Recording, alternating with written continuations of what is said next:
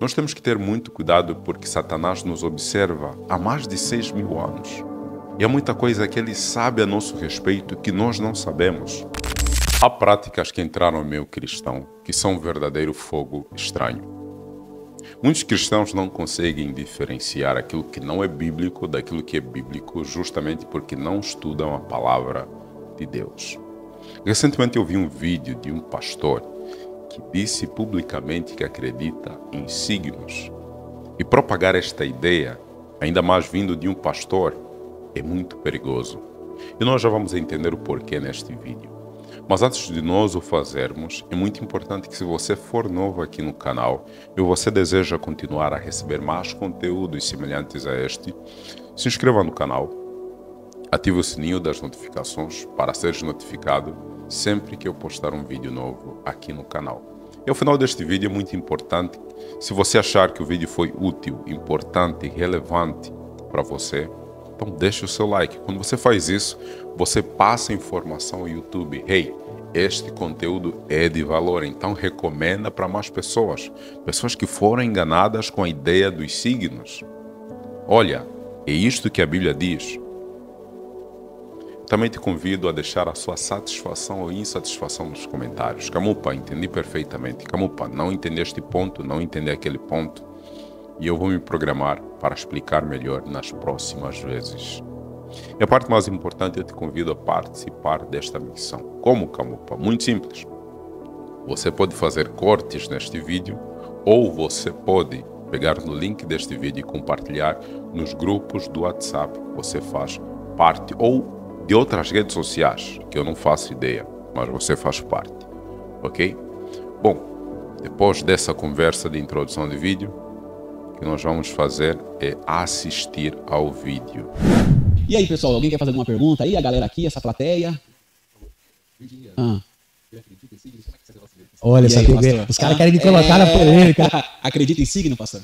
Vou falar a resposta clara e depois explico. Pode ah, ser pode. acredito. Certo. Porque... Aí você vai me falar assim, pô, pastor, que negócio que é esse? Uhum. Primeiro que é um fato. Né? Primeiro que é um fato. Você pega os perfis pelo seu período de nascimento. Uhum. Eu já falei aqui no canal que a verdade é polêmica. Mas a mentira também é polêmica quando as pessoas conhecem a verdade. É um contraponto. Não sei se vocês entendem. Mas assim, não seria uma polêmica para os cristãos se o pastor falasse aquilo que nós cristãos acreditamos com base na Bíblia. Ok? Virou polêmica justamente porque ele disse o contrário, disse aquilo que a Bíblia não diz. Por isso que virou polêmica. Agora, a questão de fato, eu não diria que é um fato, mas eu diria que são coisas comuns de acontecerem nas nossas vidas eu nunca fui a fundo naquilo que os signos dizem, mas alguns pontos que são muito, mas muito comuns. Não sei se estou a usar a palavra certa, mas vou dar um exemplo. É como se alguém dissesse assim: se você nasceu no dia 1 de janeiro, a sua mãe te ama. Ora, é muito normal que a sua mãe te ame, a não ser que ela tenha um distúrbio mental a não ser que ela tenha um problema, tenha um trauma muito grave, tenha falta de amor na sua vida. Mas, normalmente, as mães amam seus filhos, ok? Então, se uma ciência vir e me falar uma coisa óbvia, essa é a palavra, óbvia, eu não tenho que ficar admirado, ah, a ciência me disse que a minha mãe vai me amar. Não, é uma coisa óbvia é algo que está seguindo apenas o seu curso natural. Nós temos que ter muito cuidado porque Satanás nos observa há mais de seis mil anos. E há muita coisa que ele sabe a nosso respeito que nós não sabemos. E eu vou, antes de nós entrarmos mesmo naquilo que eu quero falar, eu já interrompi aqui a fala do pastor, mas eu vou te apresentar aqui Eclesiastes 1, versículo 9 onde Salomão diz algo muito interessante. Se você entender a ideia que Salomão quer passar através de Eclesiastes 1, versículo 9, talvez você fique por dentro daquilo que eu estou a falar. Diz assim: O que foi é o que há de ser. O que se fez, isso se tornará a fazer. Nada após, novo debaixo do sol. Ou seja, não há nada novo aqui. Não há nada novo aqui. Satanás se firmou nesta ideia, usou este problema, porque nós estamos presos no pecado. Por isso que Jesus diz que a verdade liberta, porque nós estamos num ciclo, pecado, e quando Jesus diz, e conhecereis a verdade, a verdade vos libertará, é porque a verdade nos coloca numa trajetória, num trajeto linear. Entendes? Nós passamos a viver a eternidade, nós não ficamos presos num ciclo. E conhecereis a verdade, e a verdade vos libertará. Bom, então, eu não diria que é um fato. É muito perigoso isso sair da boca de um pastor. Bom, também quero deixar aqui claro que eu não assisti o vídeo do pastor se arrependendo, mas supostamente, vou falar supostamente porque eu não assisti o vídeo, não sei se é real ou não. Supostamente o pastor apareceu nas redes sociais e disse que está arrependido pelo que falou. Ok? Então talvez este vídeo esteja muito atrasado, mas é importante no sentido de que, de que vai te ajudar a entender este assunto sobre a perspectiva bíblica. Ok? É batata. Concordo. É um fato. Ok. Agora, é claro, uh, Satanás sempre tentou demonizar aquilo que sempre foi santo. Né? E uma vez Deus foi falar sobre o futuro de Abraão. E quando Deus foi falar sobre o futuro de Abraão, mandou ele, ele olhar para onde? Para as estrelas. Quando... Deus falou o futuro de Abraão. Deus falou o futuro de Abraão. O pastor disse muito bem. Não as estrelas, não foram as estrelas que falaram o futuro de Abraão. Abraão, teu futuro vai ser isso, isso.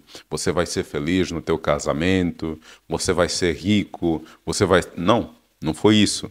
Deus falou o futuro e Deus pediu para Abraão olhar para as estrelas porque ele queria fazer com que Abraão entendesse que Deus iria multiplicar sobremaneira a sua descendência. Não tem nada aqui de confiar nas estrelas. Ok? A propósito, vamos ler Gênesis 15, versículo 5 a 7. Para não ficar aqui nas palavras do Camupa. Diz assim: Então conduziu até fora e disse: Olha para os céus e conta as estrelas, se é que o podes. Ok? Estás a ver aqui a comparação? Às vezes tem alguns assuntos que nós não conseguimos entender e nós precisamos de uma referência. E o que Deus está fazendo aqui é mostrar uma referência a Abraão. Olha, eu vou multiplicar a sua descendência de modo que você não vai conseguir contar. É isso que Deus está fazendo aqui. Deus não está falando assim, olha, coloque a tua fé nas estrelas, porque elas vão ditar o teu futuro, elas vão ditar o teu destino, elas vão falar o que você deve ou não fazer. De modo nenhum Deus está fazendo isso aqui. Ainda continuando no versículo 5. Ele disse: Será assim a tua posteridade, tua descendência. Versículo 6. Esse versículo aqui é bem conhecido, né? Ele creu no Senhor e isso lhe foi imputado para a justiça. Versículo 7. Disse-lhe mais: Eu sou o Senhor que te tirei de Ur dos caldeus, para dar-te por herança esta terra. Ok? Se você tiver um tempo depois, pesquisa a respeito de Ur dos Caldeus, porque tem muito a ver com o que nós estamos a falar aqui. Ou seja, Abraão era um homem justo numa terra onde não tinha nada de justiça, entendes? Abraão era a única pessoa que estava remando contra a maré. Pesquise, você vai entender o que eu estou a dizer, ok? Bom, vamos continuar quando é, Jesus foi dar um sinal para três magos sobre seu nascimento, onde é que eles leram essa informação? Na estrela. Nas estrelas. ok, vamos lá. Vamos lá. Olha, vou confessar que eu não entendo muito sobre signos. Eu não perco meu tempo pesquisando sobre essas coisas, porque quando se fala de futuro, eu não confio na criação. Eu confio em Deus. Mas vamos pegar o ponto que o pastor está a falar aqui. Os magos, de fato, seguiram uma estrela. Ok? Uma estrela que não estava lá o tempo todo, certo? Uma estrela que não estava lá o tempo todo. Tanto é que, quando Herodes vai perguntar aos magos, versículo 7 de Mateus 2 diz assim: Com isto, Herodes, tendo chamado secretamente os magos, inquiriu deles com precisão quanto tempo em que a estrela aparecera. Ou seja, a estrela não estava lá o tempo todo. Em algum momento ela apareceu. E aquilo chamou a atenção dos magos. O que, é que essa estrela está fazendo ali? E agora vou te passar um versículo bíblico que vai te dar uma outra visão a respeito do que aconteceu aqui. Ah, a propósito, eu acredito com base naquilo que eu li aqui em Mateus 2, que a estrela apareceu há dois anos para os magos. Os magos estavam estudando aquela estrela durante dois anos. Por quê? Porque se você for no versículo 16, diz assim: Vendo-se iludido pelos magos, enfureceu-se Herodes grandemente e mandou matar todos os meninos de Belém e de todos os seus arredores, de dois anos, conforme o tempo do qual com precisão se informara dos magos. Então aquela estrela tinha aparecido há dois anos para os magos. Os magos estavam estudando aquela estrela durante dois anos. Agora deixa eu te apresentar o que eu queria te apresentar aqui há pouco tempo. Mateus 7, versículo 7, diz assim: Pedi e dar-se-vos-á, buscai e achareis, batei e abri-se-vos-á. Buscai e achareis. Então, pense comigo. Era uma estrela que indicava o nascimento de Jesus. Os magos estavam estudando isso durante dois anos. Quando você busca aquilo que é de Deus, Deus te entrega aquilo que você tem buscado. Quando você busca, por exemplo, entender a palavra de Deus, Deus te dá a revelação da palavra, te dá discernimento da palavra. Quando você busca entender sobre profecia, Deus te revela as profecias, assim como fez com Daniel. Quando Daniel recebeu as visões, ele não conseguia entender e orou a Deus para que Deus lhe revelasse, lhe dissesse aquilo que aquelas visões queriam dizer. E Deus lhe revelou: Buscai e achareis. É exatamente isso que aconteceu com os magos. Os magos eram gentios. O povo de Israel aqui estava muito distante daquilo que Deus tinha falado com eles através das profecias. Mas aqueles que estavam atentos acharam, acharam Jesus, acharam o cumprimento da profecia. Buscai e achareis. Batei e abri-se-vos-á. Pedi e dar-se-vos-á. Agora vou te apresentar outros exemplos de gentios que se interessaram pelas coisas de Deus e Deus se revelou a eles. Por exemplo, em Lucas 2, versículo 26 a 38, versículo 26 diz assim: Revelara-lhe o Espírito Santo que não passaria pela morte antes de ver o Cristo, o Senhor. Movido pelo Espírito, foi ao templo e quando os pais trouxeram o menino, Jesus, para fazerem com ele o que a lei ordenava, Simeão o tomou nos braços e louvou a Deus, dizendo: Agora, Senhor, podes despedir em paz o teu servo, segundo a tua palavra, porque os meus olhos já viram a tua salvação, a qual preparaste diante de todos os povos, luz para a revelação aos gentios e para a glória do teu povo de Israel. Estavam o pai e a mãe do menino admirados do que ele se dizia. Simeão os abençoou e disse a Maria, mãe do menino: Eis que este menino está destinado tanto para a ruína como para o levantamento de muitos em Israel e para ser salvo de contradição. Então, você percebe aqui que um gentio, que obviamente buscava as coisas de Deus, achou. Deus lhe entregou Deus lhe revelou. Tem outro episódio de Cornélio que nós encontramos em Atos 10, também o gentio que se interessava pelas coisas de Deus.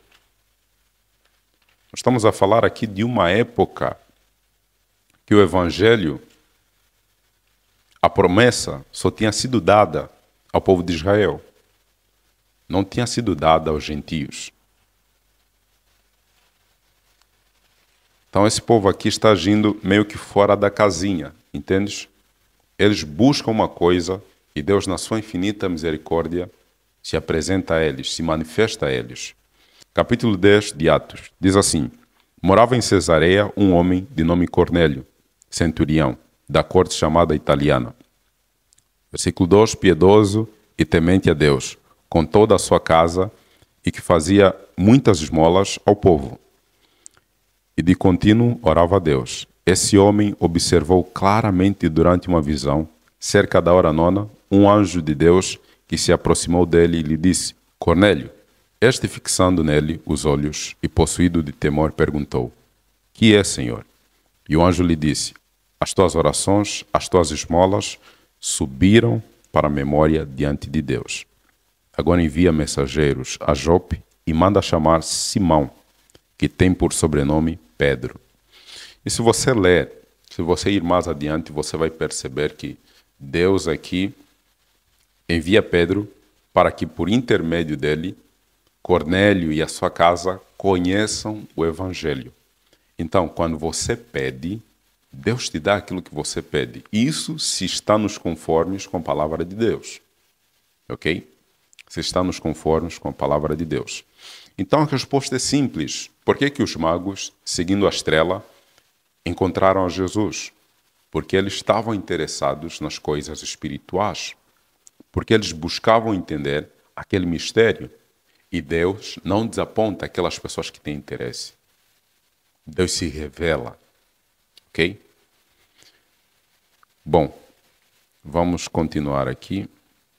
Agora, o que o diabo fez com isso, né, as demonizações, ou talvez nem o diabo, talvez os, os, humanos tentaram mistificar isso, aí é uma outra coisa que eu não entendo. Mas eu, de fato, é, é inegável. Não sei quando você nasceu, quando você nasceu, mas se você lê alguma coisa sobre essa tal do seu signo, cara, não tem como negar. Sim, sim. É característica. Como é que a gente vai falar que não é verdade? É igual como uma pessoa é. Como é que é? é sanguínea. Isso, é, aí é, é temperamento. É. Não tem como a gente. É como temperamento, né? se você for descrever o temperamento. É como se fosse isso, né? A diferença é que, como surgiu no meio disso essa coisa do zodíaco, isso, é. Aí os crentes têm um problema com isso, né? Não é que eu vou lá comprar revistinha de. Não é isso, mas. O que estava escrito hoje lá quando a gente então,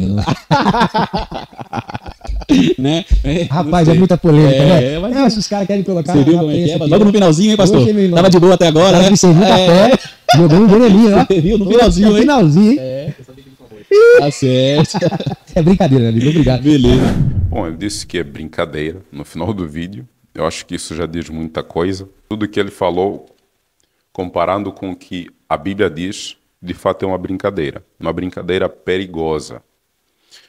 vou voltar a falar isso, mas é muito importante que nós entendamos que Satanás nos assiste, Satanás nos acompanha como humanidade desde o começo dos tempos, desde os nossos primeiros pais. Então, Satanás conhece os nossos padrões de comportamentos. Satanás conhece como o ser humano reage a determinadas situações. Satanás nos conhece muito bem. E é por cima disso que ele tem criado os seus ataques. Se você pensa que Satanás é fraquinho, Satanás não é inteligente, você está muito enganado.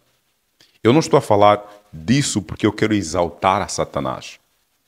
Eu estou a falar disso porque numa batalha você tem que conhecer as qualidades do seu adversário, porque senão você perde muito rápido.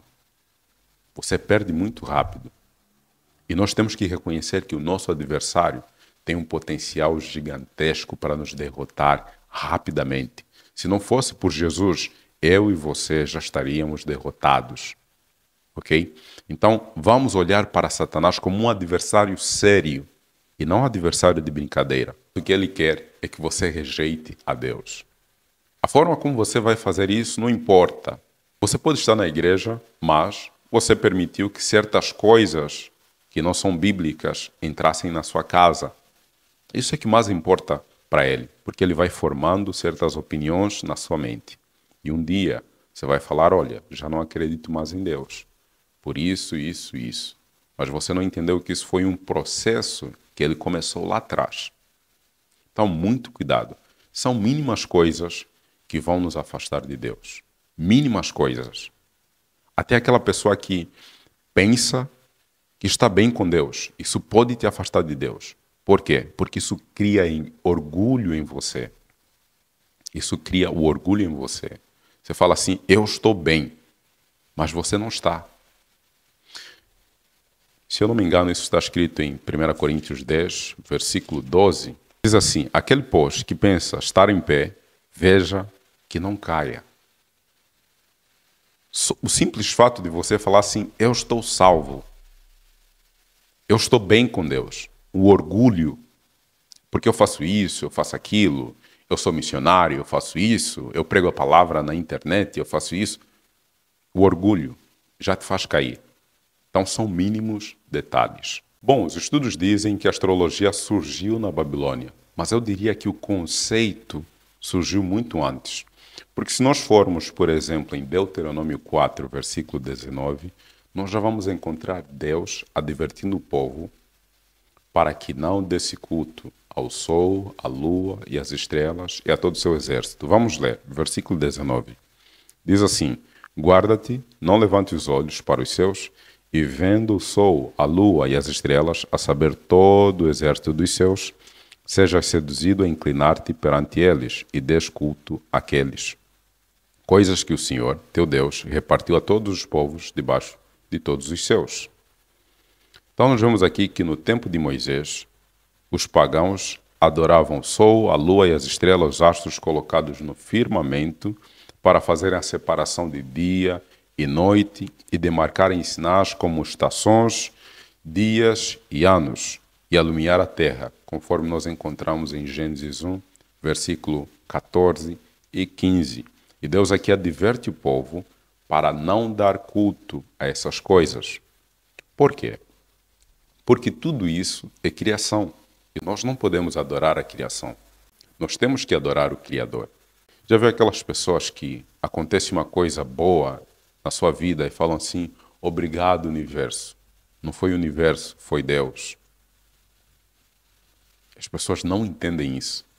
Ok? Bom, antes de eu te apresentar o último versículo bíblico, eu quero compartilhar contigo dois estudos que comprovam que os signos não são verdadeiros. Ok? Dois estudos que comprovam que os signos não são eficientes, que a astrologia não é uma ciência, mas sim superstição. Primeiro estudo, nós sabemos que, de acordo com a astrologia, os signos de Ares e Escorpião são os signos sobre os quais nascem os soldados. Mas um estudo exaustivo, envolvendo 154 mil fuzileiros navais norte-americanos, demonstram que as pessoas nascidas sob Ares e Escorpião, de forma alguma demonstram ser mais vocacionadas militarmente do que assim os chamados amantes da paz, que nascem sob o signo de Libra. Ok? Então, a astrologia diz algo, mas quando você vai para comprovar, quando você faz um estudo para comprovar aquilo que a astrologia diz, comprova-se que não tem nada a ver. Tem um outro estudo, também com base na astrologia, nós sabemos que. Nós sabemos não, a astrologia diz que os librianos, ou seja, pessoas do signo de Libra, são os mais vocacionados a se tornarem músicos e poetas. Mas um estudo de cerca de 2 mil artistas tampouco ofereceu apoio a esta ideia. Então você começa a ver aqui, que eu já falei anteriormente, que se diz algo e quando você vai comprovar, não é aquilo que se pensa, ok? Não é aquilo que se pensa. Então, vou deixar muito claro uma coisa aqui. Astrologia não é ciência, e sim superstição. Outro ponto que eu quero destacar aqui sobre astrologia é que a astrologia nos faz acreditar que os eventos à nossa volta controlam o nosso destino. Mas nós sabemos que nós temos o livre arbítrio Bom, para finalizar este vídeo, quero ler contigo Salmos 31, versículo 14 e 15. Na verdade, antes de lermos Salmos 31, versículo 14 e 15, vamos ler Salmos 119, versículo 105, que diz assim: Lâmpada para os meus pés é a tua palavra e luz para os meus caminhos. Ao invés de você depender da astrologia, dos signos, para ditarem aquilo que você deve ou não fazer, você, como cristão, tem que recorrer à palavra de Deus, porque ela é lâmpada para os nossos caminhos. Agora vamos ler Salmos 31, versículo 14 e 15. Quanto a mim, confio em ti, Senhor. Não confio em signos, não confio na astrologia, não confio em mais ninguém, confio em ti, Senhor. Versículo 14. Quanto a mim, confio em ti, Senhor. Versículo 15: Nas tuas mãos estão os meus dias. Livra-me das mãos dos meus inimigos e dos meus perseguidores. Nas mãos do Senhor estão os nossos dias. Não na astrologia, não em outra ciência, não em ideias que são agradáveis aos nossos olhos, mas no final nós sabemos que são caminhos de morte. Provérbios diz isso. Provérbios 14, versículo 12 pastor no vídeo diz que é fato, não tem como negar. Provérbios 14, versículo 12 diz assim: Há caminho que ao homem parece direito, mas ao cabo dá em caminho de morte. Dá em caminhos de morte. Então, na nossa visão, está tudo certo, é mesmo isso. Não tem como negar, é um fato. Mas no final das contas, dá em caminhos de morte. Meu irmão, temos que vigiar. Nós sabemos que Satanás nos últimos tempos vai usar todo o seu arsenal, todas as suas armas, para conseguir derrubar o máximo de cristãos possíveis. Então, eu sei que parece redundante, eu falo isso muitas vezes, mas estude a palavra de Deus. Ele é a nossa única regra de fé e prática. Há pastores que você admira, tem muita consideração, mas em algum momento vão falar aquilo que a Bíblia não diz.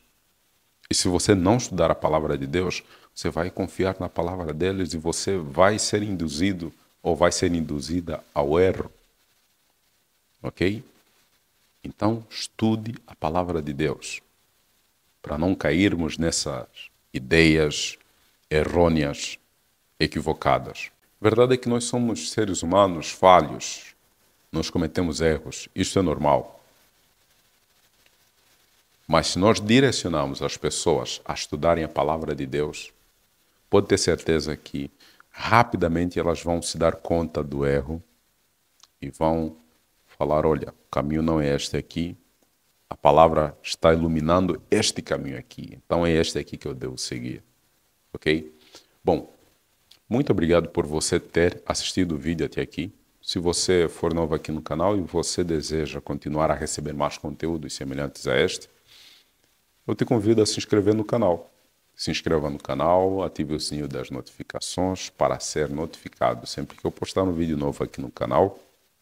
Deixe o seu like se você não deixou. Deixe nos comentários aquilo que você tem para contribuir, ok?